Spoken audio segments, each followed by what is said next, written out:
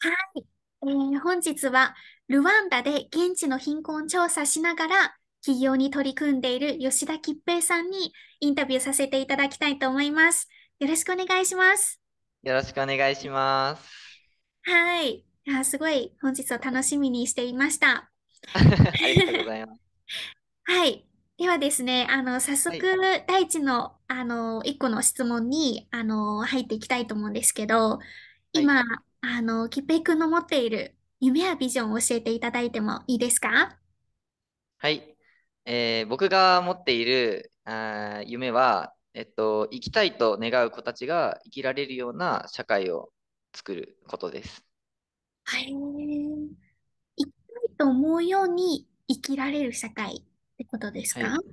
うんうんうん。そうですね。はい。はい。それは、その、あの、今の社会は生きたいように、まあ、生きれてない状況があるっていうふうにまあ感じるところがあるんでしょうか？あのーそうですね。あうん、僕のちょっと背景にもつながるんですけれども、うん、その、あの先進国の話ではなくて、うん、発展途上国うん。その。話で、発はい。展途上国で、そのやっぱ貧困層の子たちっていうのは、生きたいっていうのは思って、願ってるのに、でも生きられないっていう現状があるっていうの。を見て、それをその今、自分の持っている、えっと、看護師や保健師の資格を使って、将来。的に何かそういう貧困層の人を救う活動につなげられたらいいなと思っております。なるほど。え、じゃあ、その、今ね、先進国とか、あの、発展途上国っていうふうにはい、言ってくれたけど、その先進国は、まあ、この生き方だったりとか、どうやったらね、自分の精神性のところで悩むね、人は多いようなイメージあるけど、そういうその、はい、どう生きたいかじゃなくて、まあ、はい、そもそも生存すること、こう、食べていけるかどうかとか、そのはい。貧困のところからちゃんとこう、生きることが安心して生きられるっていう、まあ、そこのサポートを今後していきたいということなんですね。はい、そうです。えー、すごいですね。えっと、日本で生まれましたよね、吉平はい、は。うーん。今、その、ね、私23歳っていう風にね、インタビューする前にお伺いしたんですけど。本当、大学を卒業してすぐ、あの、このようにね、夢やビジョンを持って活動されているっていうのが、いや、本当にすごいなって、尊敬するなって思うんですけど、ありがとうごじゃあ、ざいます。はい。じゃあ具体的に、あの、この夢やビジョンのために、まあ、どのようなこう目標計画っていうのがありますか？あ、はい。えっと、今は、えっと、ルワンダの方に住んでいて、その、現地で企業、オンライン英会話の授業をしながら、あとは貧困層の、その、現地の生活の様子だったりとかを見ていまうん。す。うえっ。と、この後の計画といたしましては、えー日本に今年の10月頃に帰国して、うんで、来年もう一度就活をしまして、保健師として就職して、経験を積む中で、その、この今の生活と照らし合わせて、どのような活動ができるかなっていうのを考えていきたいなと思っております。えーなるほど。そっか、じゃあ、今、ルワンダにいらしてて、その今年の12月まではそちらにいる予定っていうことなんですね。そううん。ですね。えー、じゃあその現地の様子だったりとか、そして日本でも働きながら、まあ、自分の目で確かめて、体験を通して、あの、自分なりにこう答えだったりとか、どうやっていきたいのかっていうのを今、目標として掲げてやってるってことなんですね。はい。そうへです。ごい。え、じゃあ、その中で今って具体的にどのような活動をされてますか？ルワンダとかで。はい。えっと、うん今は、えー現地で、あの、和装イングリッシュっていうオンライン英会話を起業しております。うーん。なるほど。オンライン会話、オンライン英会話なんですね。そうです。えー、ルワンダでは、そのようにこう、英語を教えられる、その方が、まあ、あの、結構いるっていうことなんですか？えっと、そうですね。えっと、今のルワンダの教育とかは、あの英語がもう中心になってきているので、その少しやっぱりあの鉛とかそういうアクセントが違ったりとかあるんですけれども、その大学に行っているある程度の方とかはすごく綺麗な流暢な英語を話せるので、そういう方たちを雇って、えー、おります。えー、なるほど。で、私、その、ルワンダっていう国も、アフリカっていうね、アフリカ大陸も、本当に多分自分のその、あの、何？もともと持っている固定概念ってあると思うんですね。で、はい、今お話聞いてるように、まあ、やっぱり貧困問題っていうのもやっぱ抱えてる地域ってなった時に、でも、こうやって大学でっているだったり、英語っていう言語がこう普及されているっていうのが、まあ、実際ルワンダの状況としてあるんですね。そうです。へえ。ルワンダっていう国ってどんな国の印象ですか？少し。ああ、わかりました。えっと、ルワンダは、えっと、すごいあの山の上にある国で、標高が多分1300メートルぐらいの国なので、あの、一年中、すごく快適に暮らすことができる国です。あとは、はい、あの、人柄も、あの、アフリカ大陸と比べてすごい安全っていうのが歌われてて、すごい生活する上でも、あの、日本人とすごいルワンダ人って性格が似てて少しシャイというか、そうなんですか？あんまりこう、そうなんです。ガツガツくるイメージではないので、日本人に似てるなって思いながら、はい、生活してます。そうなんですね。なんかすごい新しいアフリカ大国のちょっと印象が入ってきて、すごいありがたいです。ありがとうございます。じゃあ、その活動に今ね、取り組んでいく上で、まあ、課題だったりとかっていうのはありますか、今、現時点で。ああ、えっと、現時点での課題は、やっぱりその、うん、集客っていう面でが、面が一番の課題ですかね。えー、集客っていうのは、受講生の方の集客ですか、はい、そのそうですね。現地の人の、あの講師は、あのすごいやっぱあの仕事がないっていう人がたくさんいらっしゃるので、そのすごく英語が流暢に話せる方っていうのはたくさん雇えるんですけれども、やっぱりそのオンラインっていうのもあって店舗を持たないのでどうしてもその集客するのにあのインスタだったりとかそういう宣伝媒体を使うしかあのまず周知方法がないので、そちらが苦労してますね。なるほど。はあ、でも現地にね、本当に英語を流暢に話せる方がたくさんいるのに、まあそれをね、こう、で雇用？雇用として、まあ、現地では生み出せてないっていうか、あの、作れてないっていう状況を、まあ、今そこを捉えて、あの、はい、ちゃんとね、市場に持っていこうと頑張っていらっしゃるってことなんですね。はい。はい。いや、ありがとうございます。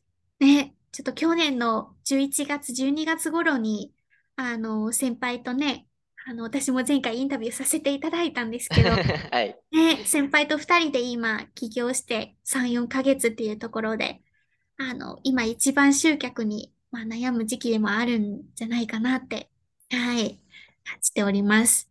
はい、ありがとうございます。じゃあですね、ちょっとここから、あのー、きっぺいくんのちょっと思いに、あの、ぜひ迫っていきたいなって思うんですけど、はい、ね、先ほどその看護大学を卒業して、まあ、ルワンダに飛び立ったっていうことをおっしゃっていて、でそれはその今の夢やビジョンに向かっての決断だと思うんですけど、その夢やビジョンを持ったそのきっかけっていうのって何ですか？はい。えっと、大学2年生の時に、うん、あの、すごくしょうもないことなんですけれども、うん、その、すごく自分が落ち込んだ時期がありまして、で、本当に自分、えー、本当に自分もその自殺とかそういうのを考えた時期がありまして、そうなんですね。はい、そんな時にあのテレビで、うん、その世界には生きたいって願うのに生きられないって子たちがいるっていうのを見て、で、それを調べていくうちに、その日本とか先進国っていうのは、その生きるっていうのが最低限であるから、その先の死にたいっていう感情が出てくるけど、まず発展途上国のそういう貧困層の子たちっていうのは、その、あの、まず生きるが前提にないから、その死にたいっていう選択肢が出てこないみたいな記事を見まして、あじゃあ、その、今はもうそんなこと思ってないんですけれども、あのただ、その死ぬのは、自殺するのはもったいないなって、そこで踏ん張れて、で、そこで、えっと、じゃあ、その、この自分を、あの、発展途上国のそういう生きたいって思うのに生きられない子たちに捧げよう、使おうっていうふうに思って、えっと、今この道を、はい、選んでおります。いやー、すごい大転換ですね。はい。いやー、ね、あのーさっきもね、こう、発展、ね、途上国と、あの、発展途上国？あ、途上国じゃない。何でしたっけ日本で先進国ですね。ありがとうございます。先進国と発展途上国、あと途上国ね、もあるんですけど、あの、こう、悩みのね、あの、種類は違ってきて、もう私もすごいね、この自分はどう生きるべきなのか、まあ、生きることがもう当たり前にベースとしてあるから、本当にじゃあ、どういうふうにこの人生をね、あの、まあ、価値あるものとしてどう生きていったらいいのかっていうのも私もまあすごく悩んだ時があって それもね、あの、私たちが出会ってるツイッターで少し交流 する ことを思い出すんですけど、うんうんうん。だけどそこでテレビの、ま、テレビで目の当たりにしている、した、あの、この生きたいと思うのに生きられない。うん、そこに反応して自分のね、生き方をここに、あの、シフトチェンジできたなっていうふうにすごく感じるんですけど、その、ね、ちっぽけっていうふうにはおっしゃっていたんですけど、かなり悩んでたんじゃないかなと思うんですね。その、はい、自分の命もういらないって思うぐらい。うん。それはどんな、この悩みだったのか聞いてもいいですか？あのー、すごくお恥ずかしいんですけど、本当にあのちっぽけなことで今思うと、あのー、失恋しまして。そうなんですね。わーって言っちゃいました。はい。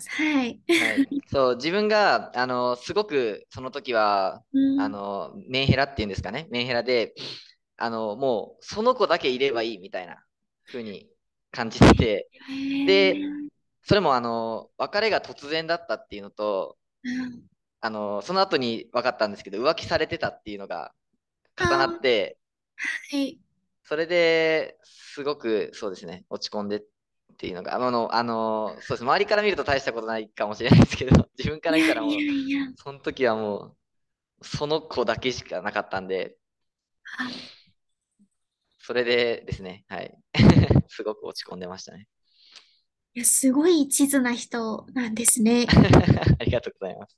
いやもうね、テレビのね、このテレビに映るね、画面上のね、子供っていうふうに捉えてしまうと思うんですけど、その、それだけにもやっぱり反応をするぐらい、かなりピュアなハートを持っているんだなって、うん、思うんですけど、やっぱりその幼い頃から、このようにこう、気持ちがまっすぐのような、きっぺいくんが、あの、いた感じですか？自分から見てっていう話にはなるんですけど。うんそうですね。何か、あの、一つのことが好きになると結構集中しちゃうたちですね。でしたね。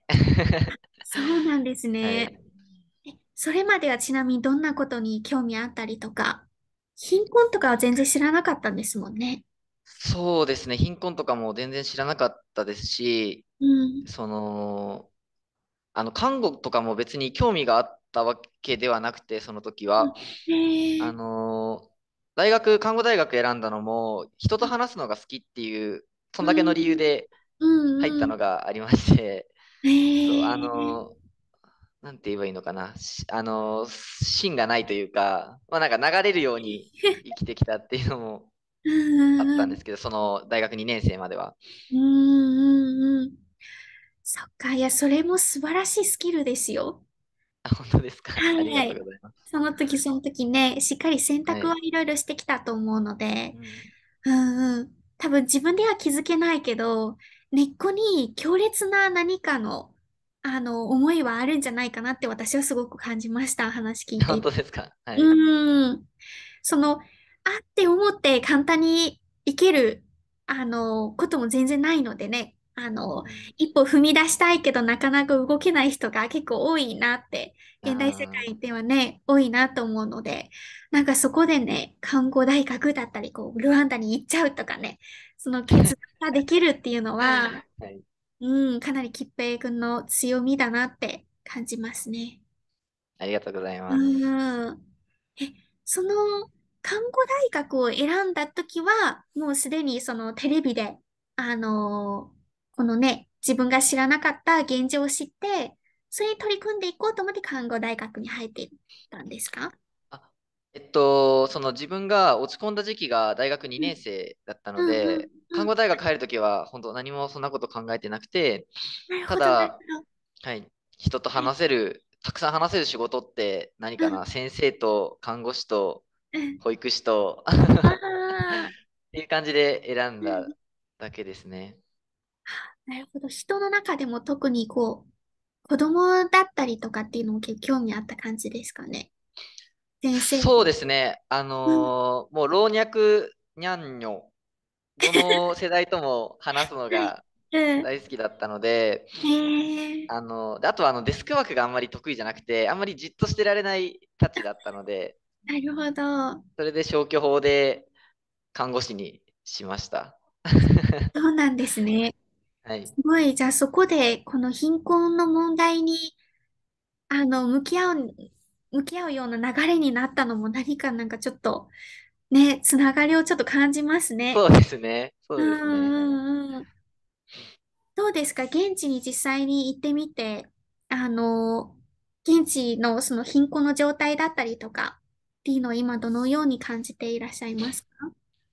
あそうですね。現地を見ていて、あうん、の、思ったのは、そのテレビうん、で見ていると、そのうん、どうしてもその、あの、貧しい服がボロボロの子供が、うん、あの、カメラに向かってそのさ悲しそうな顔してるとか、そういうところ、すね。そういう貧困だけを映されがちなんですけど、うん、その実際、ルワンダに来てみると、あの、まあ、確かに貧困は貧困なんですけど、すごいその中でも、あの、楽しく生きてる。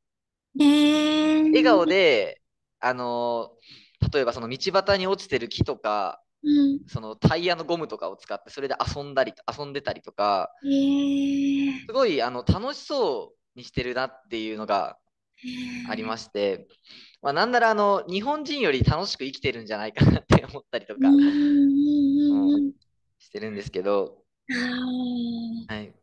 だかあ、ら、ますします。うん、うはい、ん、そうですね、その、まあ、確かにその生活とかの面では日本より貧困かもしれないけど、うん、あの僕が今見てて感じるのは、そのルワン、その発展途上国の人の、まあ、ルワンダしか見てないので何とも言えないんですけど、うん発展途上国の方が、あの、心は、あの、豊かなんじゃないかなっていうふうに、すごく感じえております。えいやー、そうなんですね。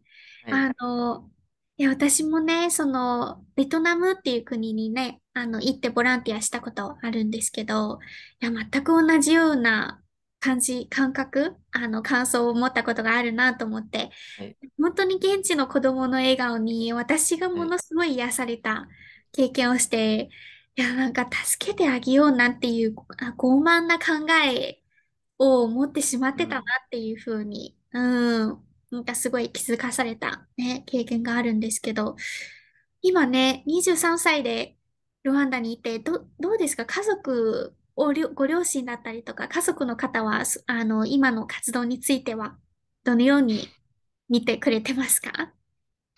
あ、えっと、家族は、えっと、その、最初、ルワンダに行くって言った当初、大学4年生だったんですけど、そのうん就職せずに、うん。あの、行くって言った時は、すごい反対されたんですけど、あ、そうなんですね。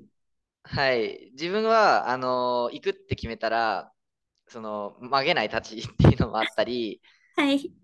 あと、親もなんだかんだその優しいっていうか、その、まあ、うん、自分のやりたいことならやってきていいよみたいな最終的に、えそういう感じー、に折れてくれるあの優しい親なので、まあ、はい今はあの応援してくれてます。そうなんですね。はい。親の応援があるのは嬉しいことですね。はい、そうですね。ちなみに兄弟はいらっしゃいますか？あ、はい、あのー次大学1年生になる妹がいます。そうなんですね。じゃあ長男はい。じゃないですか？そうです。そうです、長男です。はい。吉田家の星ですね。いやいやいやいや。うんうん。そうか。じゃあそのね、今の活動も両親の応援を得ながら、あの、自分も、こう、将来の夢ビジョンに向かって、あの、一歩ずつ着実に、あの、自分の経験、あの、自分の目で確かめながら、はい、歩んでいってるっていうことで、はい、今日はいろんなお話を伺いできて、すごい楽しかったです。ありがとうございはい。ます。ありがとうございます。最後何か言い残したこととかないですか？ああ、そうですね。ううん。まあ、じゃあ、ここで宣言しておきたいんですけど、お、その、まあ、このルワンダ生活の中で、その今後、あの本当に彼らが必要なものな、必要な、必要としている援助は何かっていうのを、うんそのうん帰る時までに見つけたいと思っております。いやー、その姿勢が素晴らしいですね。はい。ありがとうございます。ありがとうございます。はい。ちょっと名残惜しいですが、はい。では、お時間にもなりましたので、本日のインタビューはここまでとさせていただきたいと思います。はい、はい。えっと、ご視聴いただいた皆さんありがとうございました。はありがとうございました。い。